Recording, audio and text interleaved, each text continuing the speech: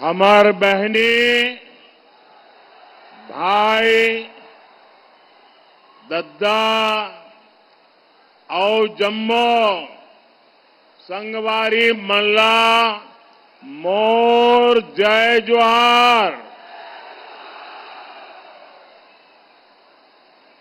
कोसा, कांसा और कंचन की धरती पर आज एक अलग ही उत्साह नज़र आ रहा है।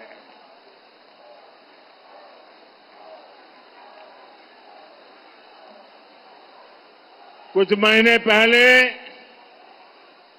मैं विधानसभा चुनाव में भाजपा के लिए आपसे आशीर्वाद मांगने आया था। भाजपा के हर साथी को आप सबने बहुत आशीर्वाद दिया। हमारे सेवा भाव को मान दिया। इसके लिए सबसे पहले तो मैं आप सबका हृदय से बहुत बहुत आभार व्यक्त करता हूँ। अब मैं आज फिर से आपके लिए पास आशीर्वाद मांगने आया हूँ। तीसरी बार भाजपा सरकार के लिए आपके भरपूर आशीर्वाद लेने के लिए मैं आपके पास आया हूँ। पिछले दस साल में अपना देश बहुत आगे आया है, लेकिन बहुत सारा काम बाकी है।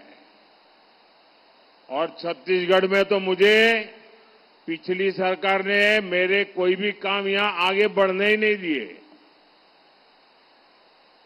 अब विष्णुदेव जी है तो वो काम भी मुझे पूरे करने हैं।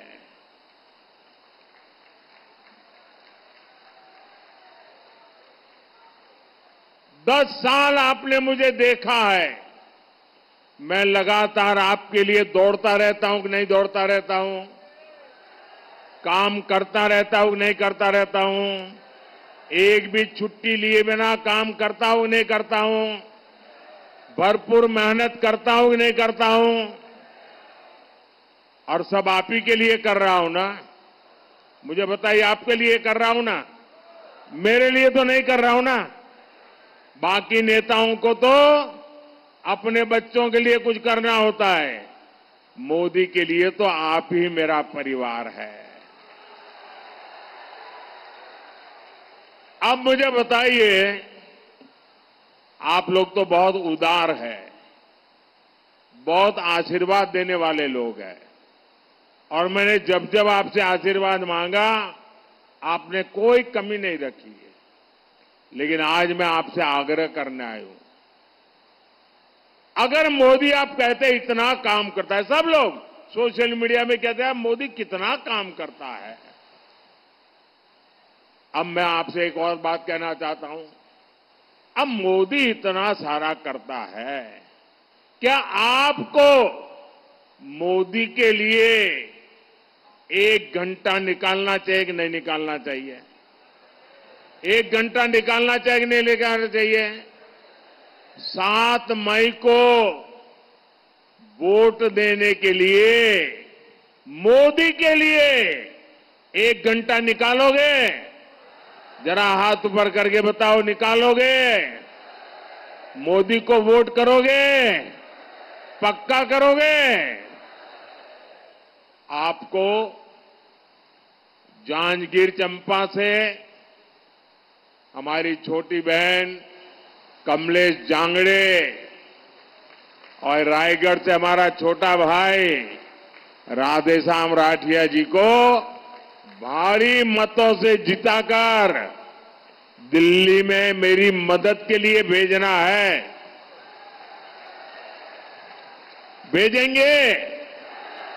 ये दोनों मेरे साथी भारत को शक्तिशाली बनाने के लिए, एक मज़बूत सरकार ने के लिए दिल्ली में मेरा साथ देने वाले हैं।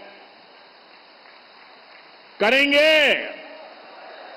मुझे माँ चंद्रहासिनी, अष्टभुजी मैया शिवरी नारायण गिरोधपुरी धाम, तुरी धाम, दमाखेड़ा की कृपा, और आप जनता जनार्दन के आशीर्वाद पर अटूट भरोसा है। इसी भरोसे के कारण ही पूरा छत्तीसगढ़ कह रहा है फिर एक बार, फिर एक बार, फिर एक बार। साथियों, आज मेरा सौभाग्य है, आज यहाँ मंच पर मेरे साथ पूज्य आचार्य मेहतर राम जी, रामनामी, और माता सेतबाई रामनामी भी। रूबरू हमें आशीर्वाद देने आए हैं। और मेरे लिए तो खुशी है कि 22 जनवरी को अयोध्या में आकर के भी मुझे आशीर्वाद दिया था।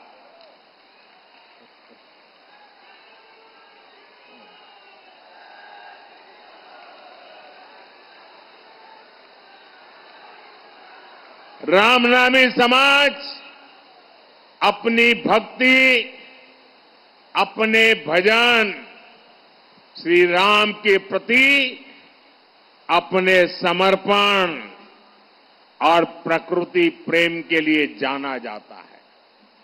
कहते हैं, राम नामी समाज के पूर्वजों ने डेढ़ सौ साल पहले ही बता दिया था कि राम मंदिर में प्राण प्रतिष्ठा कब होगी।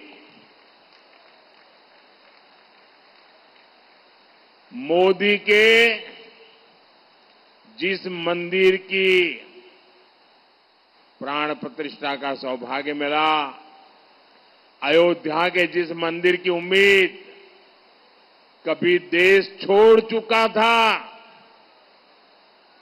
सबने मान लिया तब तो मामला खत्म नहीं होगा। उस उम्मीद को पूरा करने का काम भारतीय जनता पार्टी ने किया है, ये कमल वालों ने किया है। कांग्रेस के लोग हम पर तंज करते थे।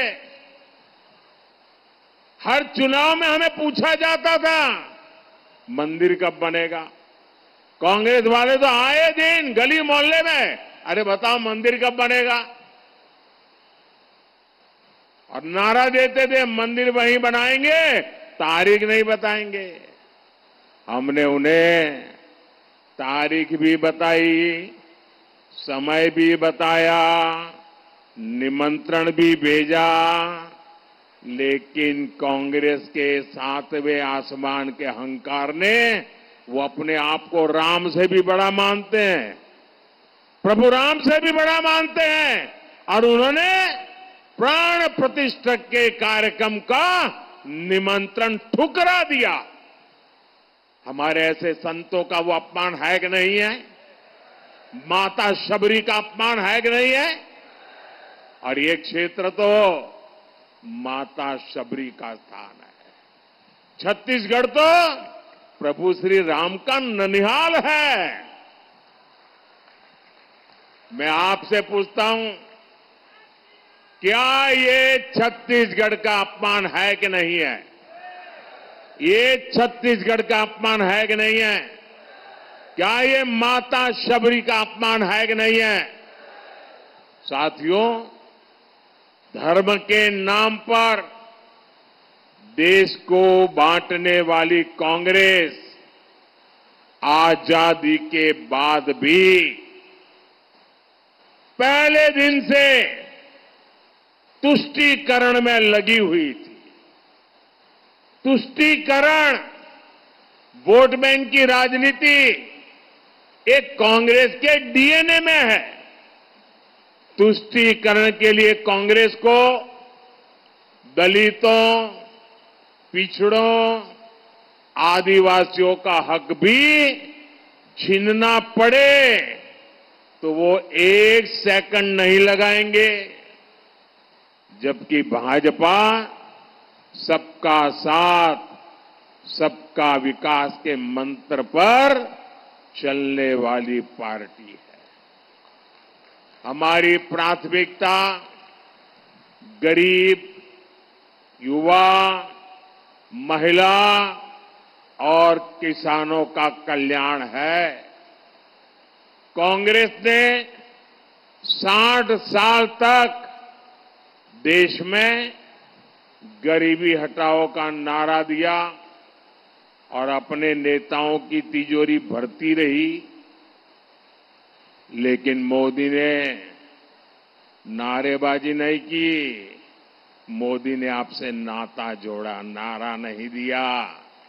और मोदी ने 10 वर्ष में 25 करोड़ मेरे देशवासियों के जो गरीबी में ज़िंदगी जीते थे, मुसीबत में जीते थे, जिनके सपने सपने बचे नहीं थे, उन गरीबों को 25 करोड़ गरीबों को गरीबी से बाहर निकाला है।